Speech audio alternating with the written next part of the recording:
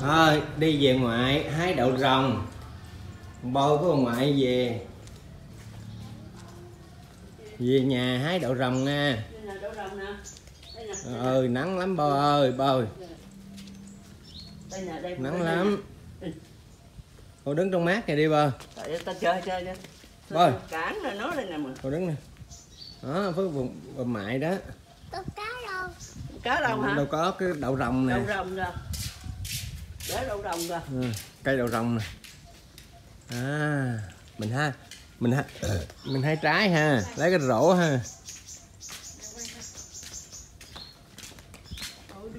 Này ờ ba cũng bảo tới hai đậu rồng.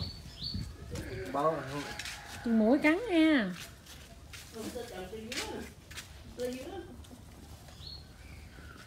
Chó. Nó. Cái sào đồ nó che lại cái cây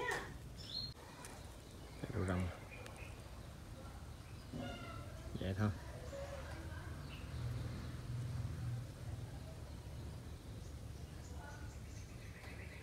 Rồi quay sát vô nè.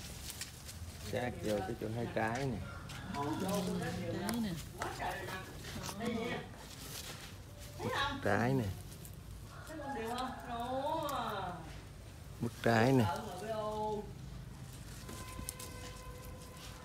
bức trái nè thấy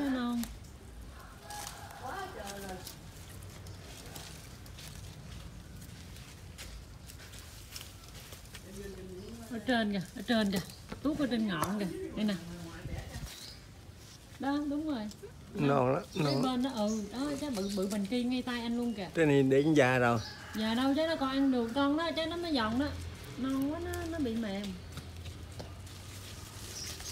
trái nó bị rầy vậy đó. Trái trên luôn kìa ba trái trên nó vừa ăn luôn. không mềm xeo à. Nó một dây đậu mà nó. Đây nè trái này khô nè để giống nè.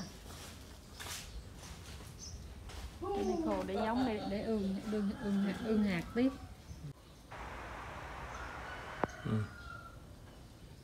Muốn hái thì mình hái thôi